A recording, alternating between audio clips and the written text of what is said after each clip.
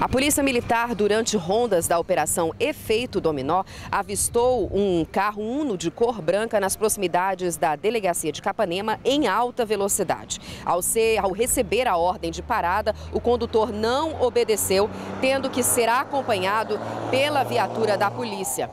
Novamente recebeu ordem de parada e conseguiu ser alcançado próximo ao terminal rodoviário de Capanema. Ao ser abordado, o condutor apresentava sinais de embriaguez e, após a polícia fazer a revista no veículo, foram encontrados sete maços de cigarro. O condutor foi encaminhado para a delegacia de Capanema e preso em flagrante por conduzir um veículo em situação de embriaguez, sendo constatado após um teste de etilômetro feito no posto da PRF. A guarnição da PM ainda informou que na delegacia foram constatados outros crimes por parte do condutor.